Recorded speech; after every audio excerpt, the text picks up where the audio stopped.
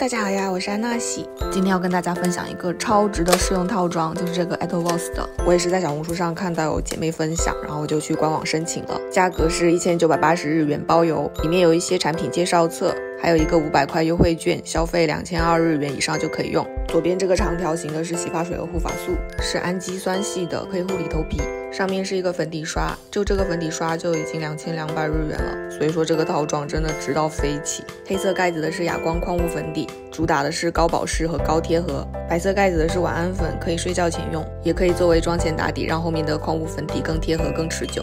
盒子的右下角分别是洁面皂、化妆水、精华和面霜。既然开箱了，我就把测评也做了吧。先涂这个晚安粉，当做妆前打底用，倒一点在盖子上，再搅拌均匀上脸就行了。这个刷子上脸很舒服，很软。只是这个晚安粉为什么让我觉得好像给自己涂一层高光？我的整个脸的毛孔都在发光啊！算了，先不要在意这些细节。然后是我们的主角矿物粉底，试用装有四个色号可以选，最白的是二零，我是中性二白，所以选了三零。也是像这样把它倒在盖子里，再用刷子拌均匀，磕一颗多余的粉。在脸上以画圈的方式从内到外涂上。我是油痘肌，脸上还挺多痘疤之类的，所以我涂了两层。涂第二层的时候，突然感受到了质的差别。我先涂了半张脸，让大家看一下对比效果，的确很贴合，没有出现任何浮粉，遮盖力一般般，黑眼圈是肯定遮不住了。毛孔遮的还不错，而且没有什么粉感。我们把另外半边也补上。三零这个色号对于二白来讲刚好，两层可以遮住泛红和肤色不匀，黑眼圈和泛红中的痘痘不大能遮得住，粉感不强，上脸很自然。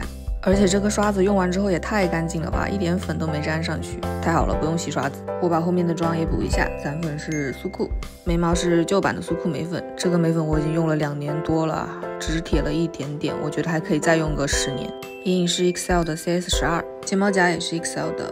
爱杜莎的睫毛打底应该已经人手一个了吧，真的是超级好用。然后是爱杜莎的睫毛膏，我觉得一般般，没有很推荐。腮红是倩碧的小雏菊腮红零五，爱杜莎的唇膏零五，我之前也推荐过了，光泽感超级好。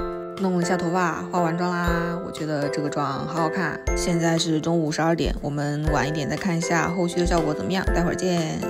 Later，现在是下午三点，已经过去三个小时了。基本没有什么脱妆，只是我脸上出了很多油，拿纸巾擦了擦油，补了一层散粉，准备出门。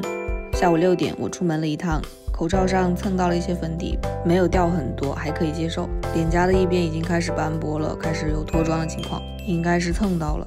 整体感觉妆都脱落了一点，我的斑都变明显了。晚上九点，已经带妆九个小时啦。鼻翼和脸颊因为出油和戴口罩，脱妆比较明显，整体妆感大概还剩六到七成。持久度方面不怎么出众，但是对于矿物粉底来讲也算 OK 了。今天的分享就到这里啦，下次见。